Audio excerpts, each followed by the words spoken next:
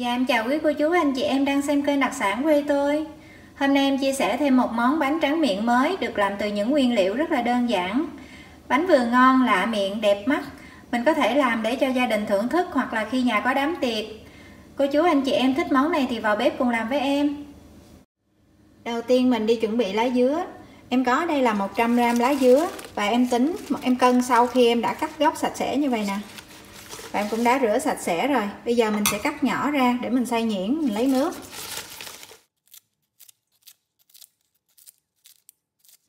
Mình cho lá dứa vào có xay sinh tố, mình xay nhỏ.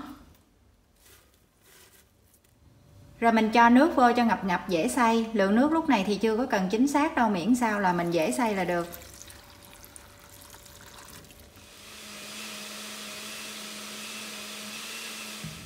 Rồi mình lọc lá dứa qua một cái rây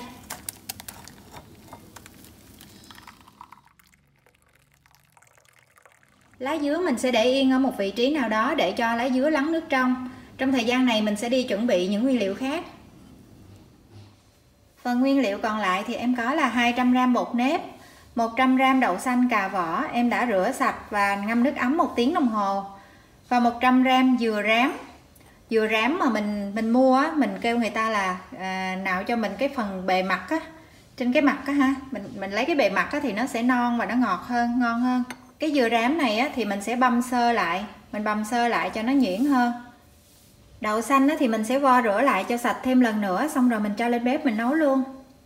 Ngoài ra thì em dùng thêm 100g đường thốt nốt. Thì cái lượng này nó sẽ không chính xác tùy vào anh chị thích ăn đường nhiều hay đường ít mình làm cái viên nhân lớn hay nhỏ ha. Thì em sẽ dùng khoảng 3 viên nhỏ như thế này là khoảng 100g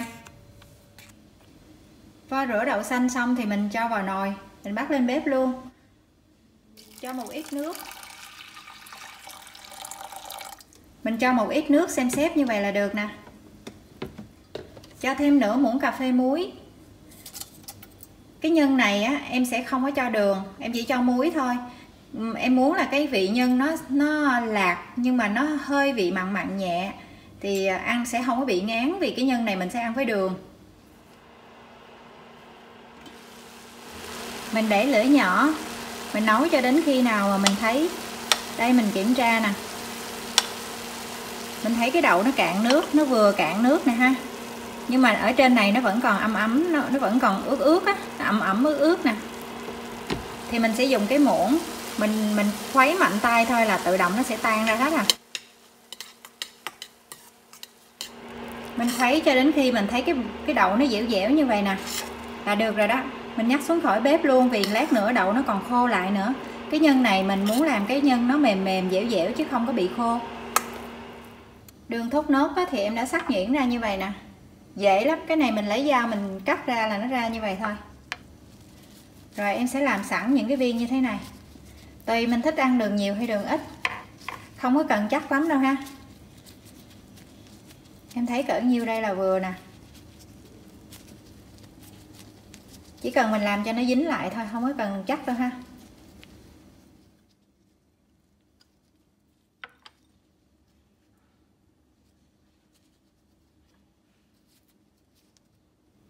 Đậu xanh thì mình không có cần đợi nguội, ấm ấm là mình làm được rồi ha. Đây, lúc này nó dẻo dẻo như vậy nè. Miễn sao mà vừa tay mình á thì mình làm được rồi mình lấy một ít nhân, đậu xanh. Rồi cho một viên đường vào trong chính giữa nè. Gói lại.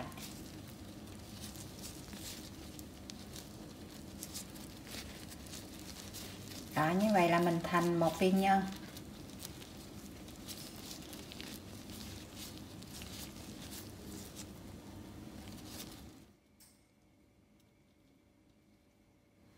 Quay trở lại với ly nước cốt lá dứa thì lúc này nó đã lắng xuống thành hai phần. Một phần nước ở trên đây là nó nó nó, nó là nước trong nè còn từ đây trở xuống nó là nước đục nè.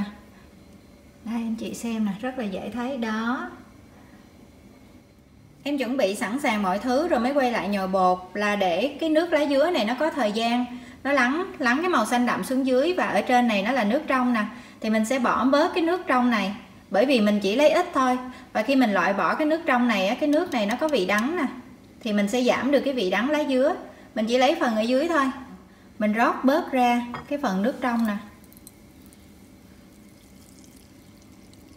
Em sẽ giữ lại 200ml nước lá dứa. Mình cho 200g bột nếp vào trong thau. Lá dứa thì mình sẽ khuấy đều lên với 200g bột nếp thì thường mình sẽ pha khoảng 180ml nước. Tuy nhiên thì tùy vào cái bột mới hay bột cũ, anh chị cho từ từ thôi ha.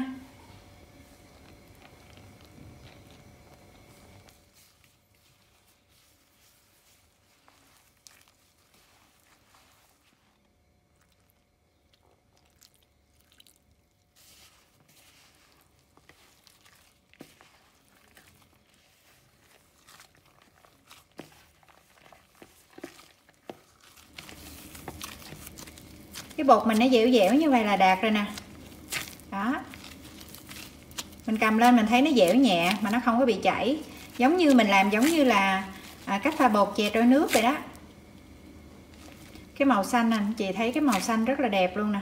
Mình chắc bỏ bớt cái cái nước trong đó mình lấy mình chỉ lấy cái nước nguyên chất màu đậm thôi nè. Màu đẹp ha. Rồi mình đậy nắp lại mình để thêm khoảng 5 đến 10 phút cho bột nghỉ. Rồi mình đi gói bánh nãy giờ em cho bột nghỉ cũng 10 phút rồi nè. Lúc này bột mình nó dẻo hơn nữa. Em sẽ lấy một lượng bột nhỏ nhỏ, to hơn viên nhân mình một tí xíu, giống như là mình mình làm viên chè trôi nước vậy đó.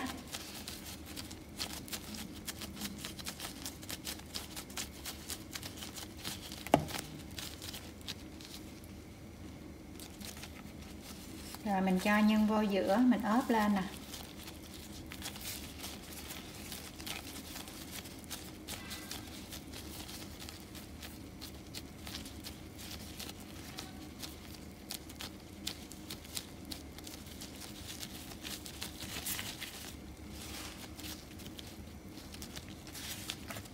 sao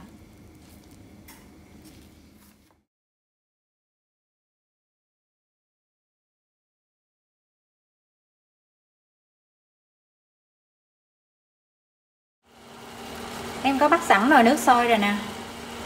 Khi nước sôi thì mình tăng lửa lớn lên, rồi mình lần lượt mình thả những cái viên à, cái này gọi là viên viên bánh ha.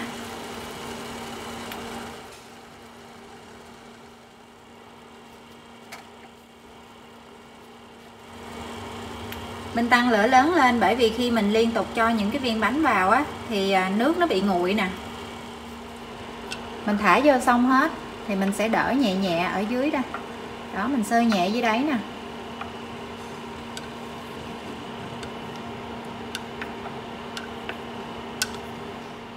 Mình luộc những cái bánh này giống như là mình luộc chè trôi nước vậy đó. Mình thấy ờ, bắt đầu từ khi những cái viên bánh này nó nổi lên thì mình để thêm khoảng 3 phút nữa thì mình mới vớt ra.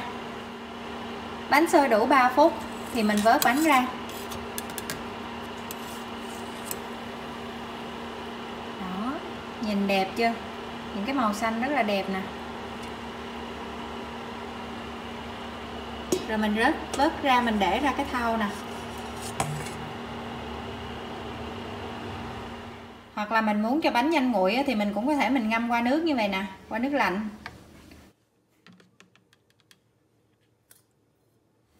Tiếp theo thì mình sẽ lấy từng cái bánh. Mình lăn qua cái dừa sợi nè.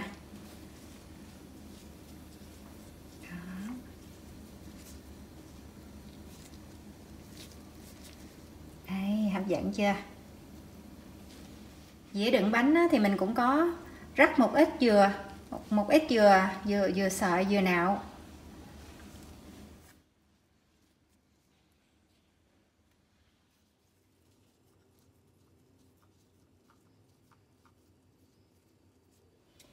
Đây thành phẩm bánh nếp đường thốt nốt được làm với à, lá dứa nè hấp dẫn chưa nè?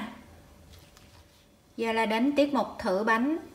Bánh này thường mình sẽ làm món trắng miệng hoặc là à, vào những cái dịp à, có đám tiệc nè hoặc là cho những cái bữa tiệc hoặc là nhà có khách. Đó, nhìn cái bánh nó dẻo nè nó dẻo nó mềm. Bên trong sẽ là nhân đường thốt nốt và đậu xanh. Cái phần vỏ bánh thì mỏng mỏng làm cho mình ăn không có bị ngán.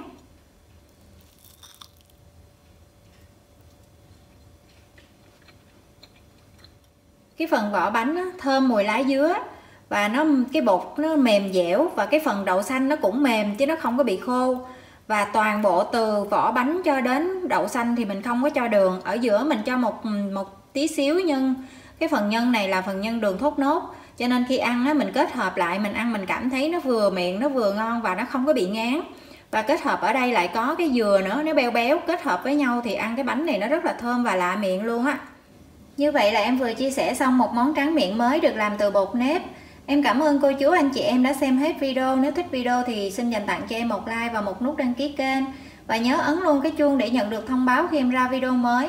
Bây giờ thì xin chào và hẹn gặp lại ở video tiếp theo.